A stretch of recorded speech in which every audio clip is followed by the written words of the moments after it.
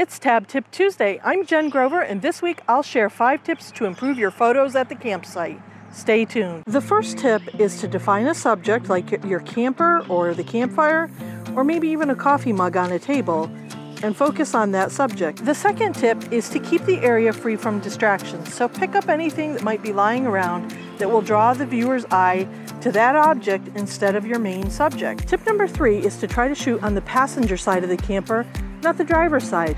The driver's side usually has outlets for your fresh water, electric, and other components, so it's a little more cluttered and less appealing. Tip number four is to keep the shades open. A photo should be inviting. Closed shades have the opposite effect. Tip number five is to try to pick the right lighting. That's usually at the early morning or late afternoons, or if you're able to find shade or a cloudy day, they could be your friends too. I hope this video helps you take better pictures. If you liked it, give me a thumbs up and subscribe. Thanks for watching.